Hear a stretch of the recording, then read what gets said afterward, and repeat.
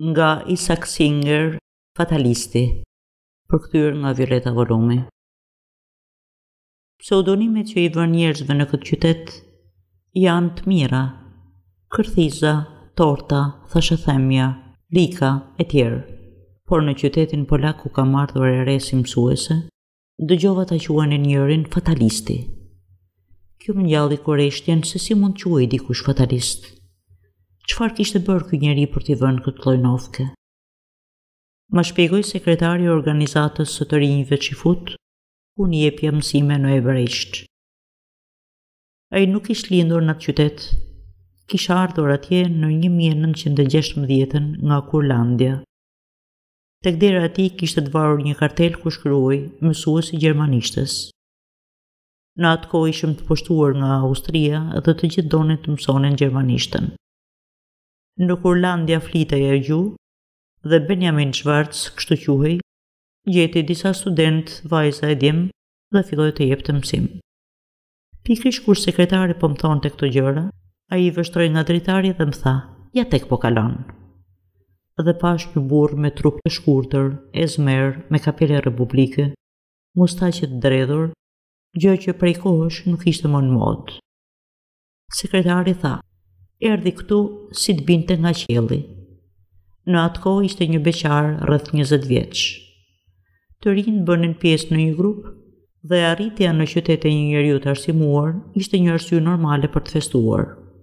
E ftuam në grupin tonë dhe për nder të tij organizuam një mbrëmje me pyetje. Pyetjet u futën në një kuti. Ai duhej të fuste dorën, t'i nxirrte dhe të përgjigjej. Një vajzë e pyeti nëse besonte në Zot. Në vend që të përgjigjej me pak fjalë, ai foli për një orë të tërë. Tha se nuk besonte në Zot, por se të gjitha gjërat që ndodhnin ishin të paracaktuara, të shkruara si thuash, edhe ato nga më të parëndësishmet.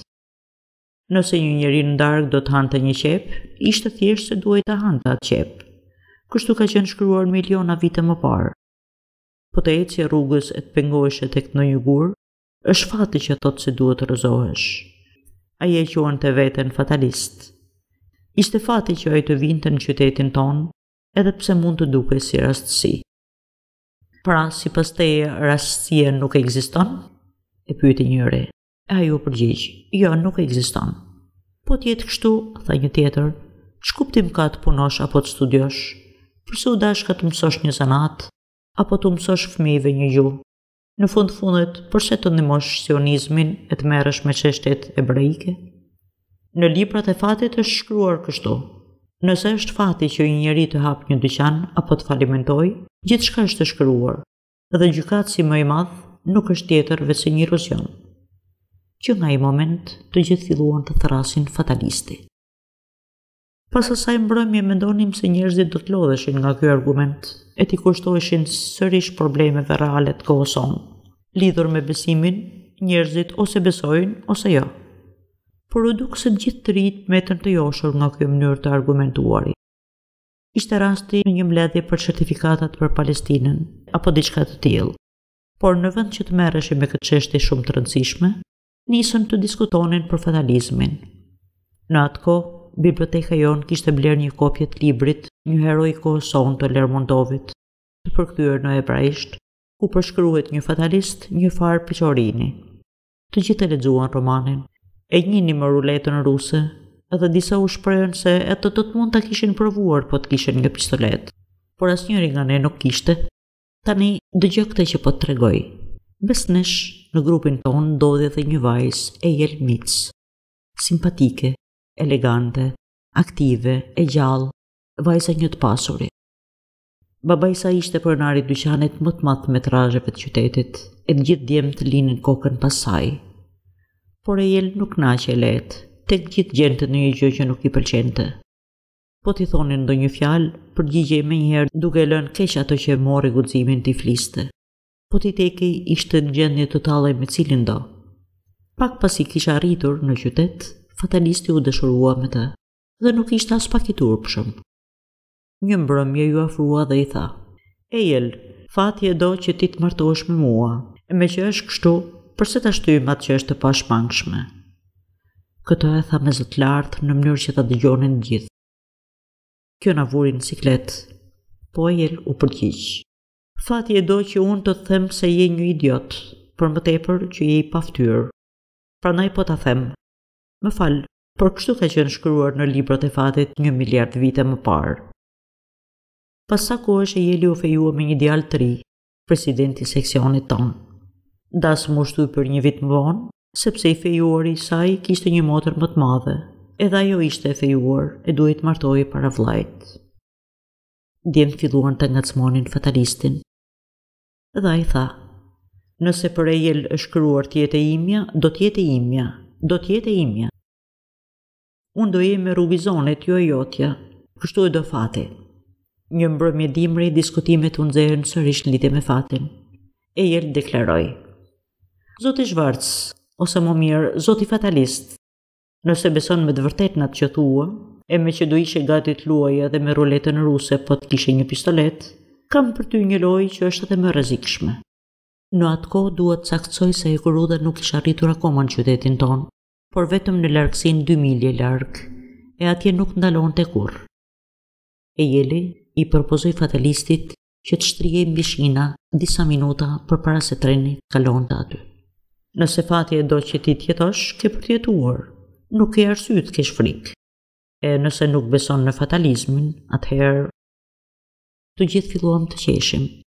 Ishim të sigurt që fatalisti do të gjente ndonjë pretekst për t'u tërhequr, të shtriheshe mbi shina do të thonte vdekje e sigurt.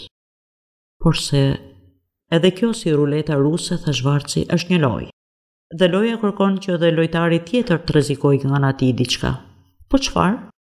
Unë do të shtrihem mbi shina. Por ti, duhet të betohesh solemnisht se në rast se unë do dal i gjallë, ti do ta prishësh fejesen me Ozer Rubizonin e do të martohesh me mua. Në sallë, ra një heshtje për vdekje dhe Ejelë u zverdh. Mirë, i pranoj kushtet e tua. Betohu solemnisht. Unë nuk kam nënë, tha vajza, ka vdekur nga kolera. Betohem për shpirtin e saj, se nëse ti do ta mbash fjalën e dhënë, edhe unë do ta mbaj timen. Nëse jo, u njolloftë emri im përgjithmonë.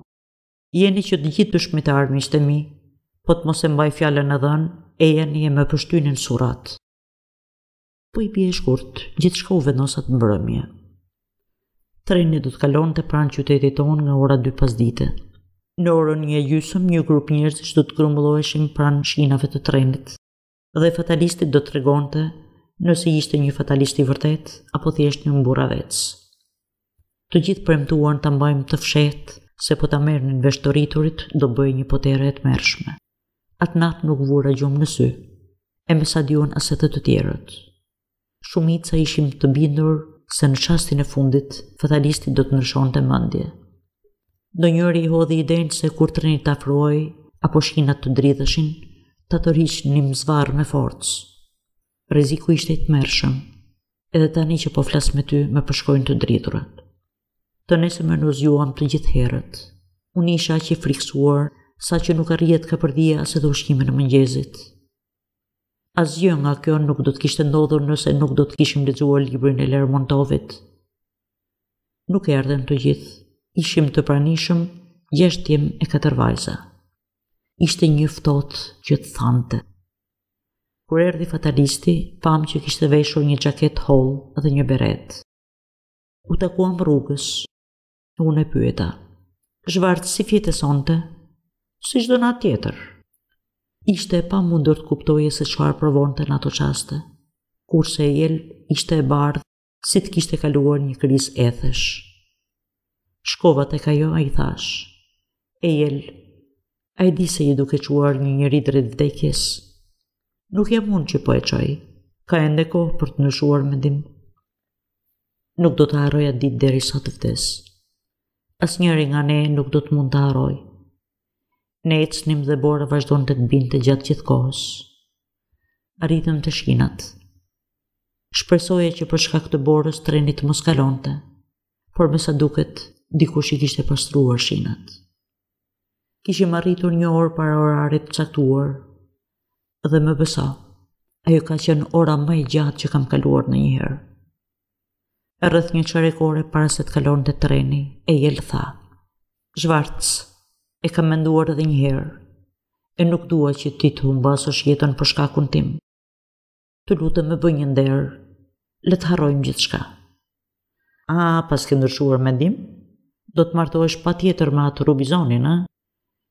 Jo, Zhvarc, nuk ka lidhje me Rubizonin. Këtu bëhet fjalë për jetën tënde. Më kanë thënë se ke akoma gjallë nënën. Unë nuk dua që ajo ta humbasë të birin për fajin tim. Nëse ti do ta mbash fjalën e dhënë, unë jam gati ta mbaj fjalën time. Por me një kusht. qëndro pak më larg shinave. Nëse do të përpiqesh të më tërheqësh nga shinat në çastin e fundit, loja nuk ka vlerë. Të gjithë ju, bëni 20 hapa prapa. U duk se na hipnotizoi me fjalët e tija dhe filluam të tërhiqemi prapa. Në qoftë se ndonjëri do të përpiqet të më tërheqë nga shinat, do ta kap nga paltoja dhe do të ketë fatin tim. E kuptuam mirë se sa e rrezikshme do të ishte për secilin nga ne po ta bënim atë përpjekje. Ndodh shpesh që kur ndonjëri do të shpëtojë atë që po mbytet, përfundon të mbytet edhe vetë. Shinat filluan të dridhen. Dëgjuam fishkëllimin e lokomotivës. Bërtitëm që të gjithë me një zë. Zhvarc mos e bëj, Zhvarc ki mëshirë. Por edhe pse bërtisnim, ai ushtri mishi na. Njërës nga vajzat i ra të fikët. Ishim të sigurt që pas një sekonde, do ta shikonim të ndarë më dysh. E kam të pamundur të tregoj se çfarë provova në ato pak sekonda. Nga eksitimi gjaku nisi të më vlonte në kuptimin e vërtetë të fjalës. Si në një film pashë makinistin të kërcente nga treni, të bërtiste diçka e ta tërhiqte zvarrë. Shumë pasagjerë zbritën, thuajse gjithë shokët ia mbathën nga frika se do na arrestonin. Ishte një zallamahi e vërtetë. Unë qëndrova aty ku isha dhe pashë gjithçka. Ejel vrapoi tek unë, më përqafoi dhe nisi të qante. Ishte më shumë se një e qarë. Ishte si ulërima e një kafshe. Tani të lutem, më tha sekretari, më jep një cigare. Nuk mund të flas. Më duket se po mbytem. Më fal. I dhashë një cigare sekretarit dhe pashë se si i dridhej në gishta.